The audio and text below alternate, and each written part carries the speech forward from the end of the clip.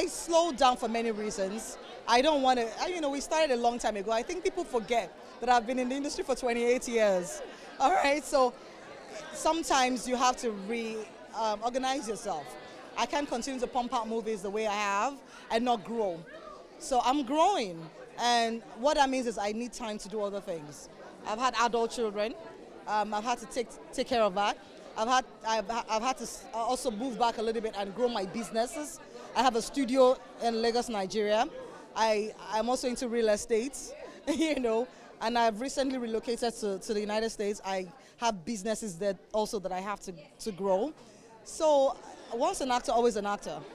I will be coming back to the screens when I feel like it's time, and I prefer to do projects that are actually meaningful, other than just doing projects just because we want to be working.